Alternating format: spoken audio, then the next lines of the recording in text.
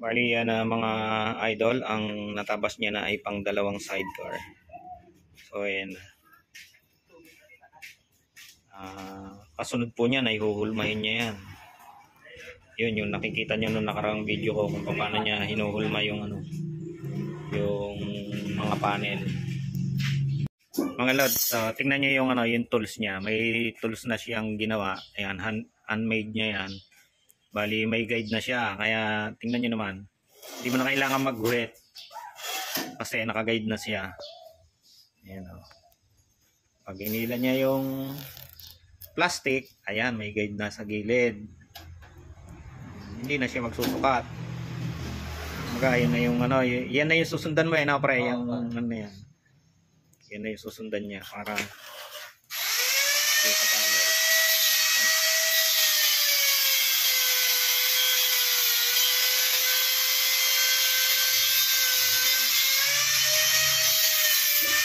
Ayan na. Kita nyo, yan. i- Yan yung part na itutupi na pre, yung walang ano, yan po, yung part ng panel na itutupi. Yan.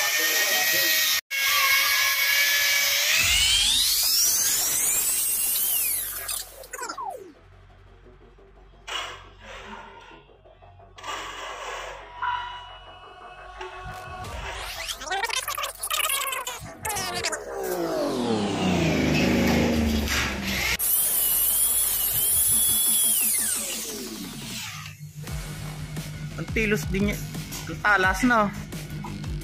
Ang pinatilos mo pala ng gusto yung dulo.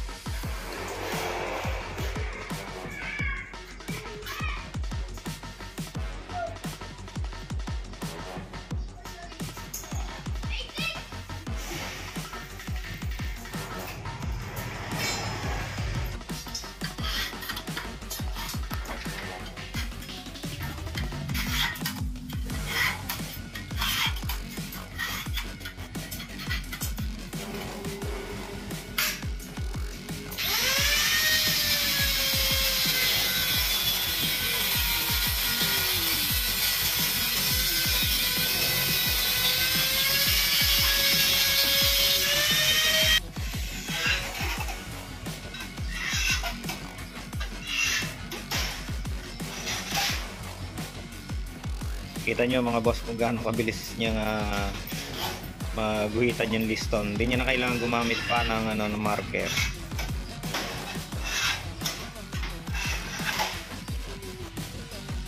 Ganyan siya katalino gumawa.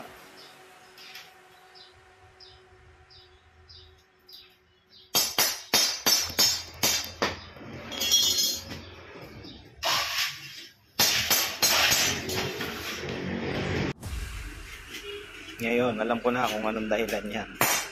Bakit nilalagyan ng ganyan.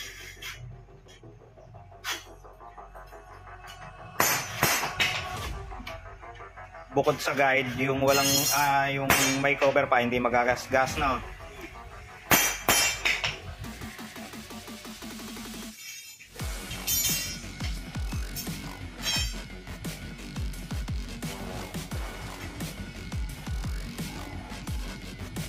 Tapos dyan din yan tutupiin sa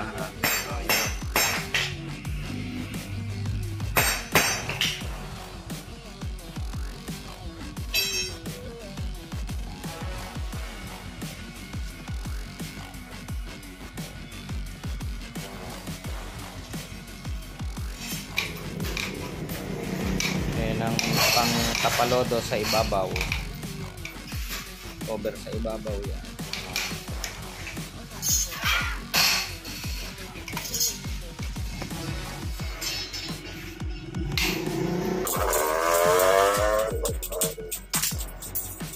Home.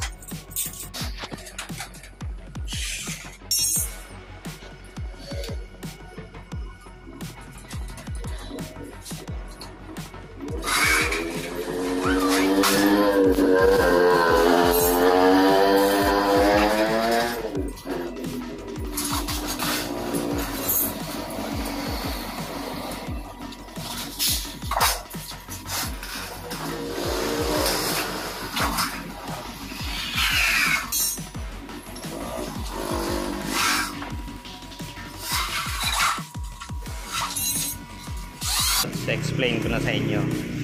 Kaya yan nilagyan ni ano ni pare ng guide dyan sa gilid para hindi na siya susukatan kapag ah, magtutupi.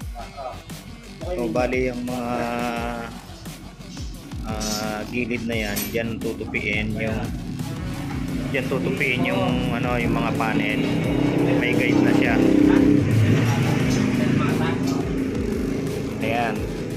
Ginawa niya yan para may guide sa kanyang pagtutupi ng ah, metal sheet.